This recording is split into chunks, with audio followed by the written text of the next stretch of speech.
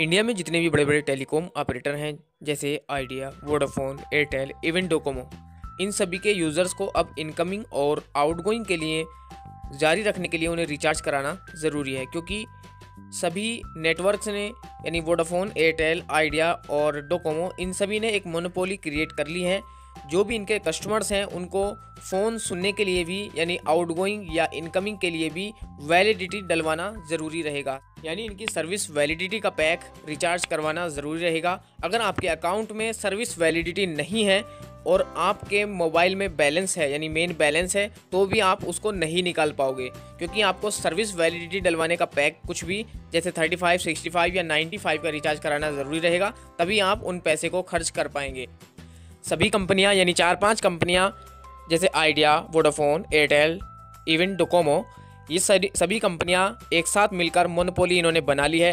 यानी इनका कस्टमर अगर फ़ोन यूज़ करेगा, यानी जो इनएक्टिव हैं, वो एक्टिव हो जाएँगे, यानी जो पैसे नहीं डलवाते थे, केवल सुनने सुनने का ही फ़ोन रखते थे, उन्हें भी अब रिचार्ज करवाना ज़रूरी रहेगा। या अगर उनका सर्विस वैलिडिटी अगर ख़त्म हो गई है तो भी उनको रिचार्ज कराना ज़रूरी रहेगा, वरना उनकी कॉल या एसएमएस नहीं आएगा और ना ही जाएगा। या 90 दिन के अंदर अगर वो कोई रिचार्ज नहीं कराते हैं तो उनका सिम भी बंद हो सकता है। तो इसलिए ये क्यों किया है इन कंपनी ने, इसका रीज़न भी हम आपको बताएँगे और इसका सोल्यूशन भी हम आपको इस वीडियो में बताएँगे तो इस वीडियो को पूरा वॉच कीजिए। अब ये चेंजिंग रीज़न क्या है इस चेंजिंग का? इन कंपनी ने ये चेंजिंग क्यों किया है? तो देखिए, जब जियो आया है जब से जब से टेलीकॉम इंडस्ट्री में तहलका मच गया है। और सभी कंपनियाँ जियो से कंपेयर कर रही हैं नए नए प्लान लॉन्च कर रही हैं।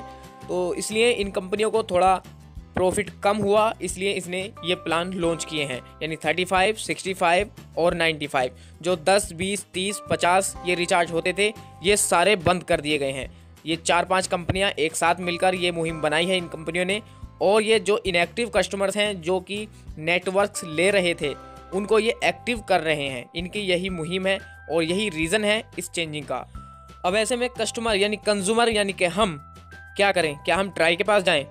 देखिए ट्राई इन सभी कंपनियों का एक बॉस है, जिसके पास इन सभी कंपनियों का रिकॉर्ड्स होता है और उसकी नियम और शर्तें होती हैं। तो ट्राई के पास ऑलरेडी मुकदमा चल रहा है और ट्राई ने ये कहा है कि किसी भी कस्टमर्स की सर्विस बंद करने से पहले उनको कॉल या एसएमएस करें और उन्हें बताएँ और अगर मान लीजिए जो भी आपका टैरिफ प्लान है सर्विस वैलिडिटी का, अगर इतना मेन बैलेंस में उसके बैलेंस है तो उसकी सर्विस बंद ना करें। लेकिन ये कंपनी कहाँ मानने वाली है? तो इसलिए इसका हम सोल्यूशन भी आपको बताते हैं कि आपको क्या करना चाहिए। क्योंकि कुछ लोग ऐसे होते थे जो अपना प्राइमरी सिम रखते थे केवल फ़ोन रिसीव करने के लिए, यानी आउट इनकमिंग के लिए, और अपना एक सेकेंडरी सिम भी उसमें रखते थे कॉल करने के लिए, जिसमें वो पैक लगाया करते थे मंथली वाला मतलब इंटरनेट वाला। तो इसलिए मैं आपको सोल्यूशन बताता हूँ कि आपको क्या सोल्यूशन करना चाहिए।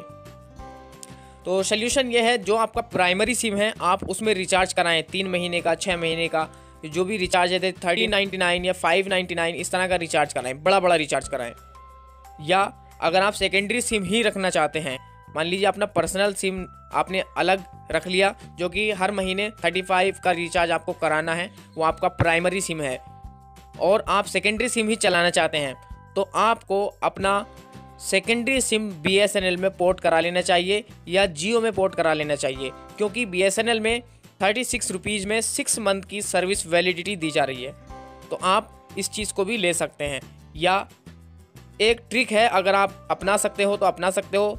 मान लीजिए आपने कोई भी एक पोर्ट का मैसेज किया वोडाफोन से आइडिया से एयरटेल से या डोकोमो से, किसी से भी तो आप ये ना बताइएगा कि हम एयरटेल में जाते हैं या मान लीजिए वोडाफोन में जा रहे हैं या जिस ऑपरेटर के हैं आप तो उसमें आप ना बताइएगा, आप बीएसएनएल या जियो में आप बता दीजिएगा कि उसमें हम जा रहे हैं, वरना हमारी सर्विस वैलिडिटी बंद नहीं कीजिए। तो ऐसा हो सकता है ट्रिक है, आपको भी हो सकता है सर्विस वैलिडिटी फ्री में ये कंपनी दे दे। तो ये तरीका भी है, और आप जियो में भी करा सकते हैं या बीएसएनएल में थर्टी सिक्स रुपीज़ का सिक्स मंथ के लिए अभी वैलिडिटी मिल रही है, आप जियो के अंदर भी पोर्ट करा सकते हैं अपने नंबर को। तो फ्रेंड्स उम्मीद है ये जानकारी आपको पसंद आई होगी। अगर आपका कोई सवाल या सजेशन है तो आप नीचे कमेंट कर सकते हैं। थैंक्स फॉर वॉचिंग जय हिंद, जय भारत।